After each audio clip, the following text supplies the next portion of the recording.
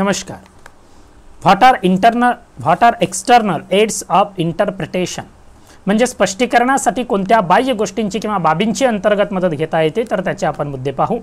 Number एक, ऐतिहासिक घटना व बाजूचे वातावरण, म्हणजे historical facts and surrounding circumstances दोन, संसदेचा इतिहास, म्हणजे पार्लमेंटरी हिस्ट्री तीन, इतर कायद्यांचा संदर्भ, म्हणजे रेफरन्स टू अदर स्टॅच्यू चार नंतरच्या सामाजिक राजकीय व आर्थिक घडामोडी म्हणजे latter social political and economic developments पाच शब्दकोश म्हणजे डिक्शनरी सहा रूढी आणि प्रथा म्हणजे usages and practice usage and practice सात परदेशी न्यायालयीन निकाल म्हणजे फॉरेन डिसिजन्स या बाबींची एक्सटर्नल एड्स ऑफ इंटरप्रिटेशनसाठी आपण मदत घेत असतो. व्हिडिओ आवडल्यास लाईक आणि सबस्क्राईब करायला विसरू नका. धन्यवाद.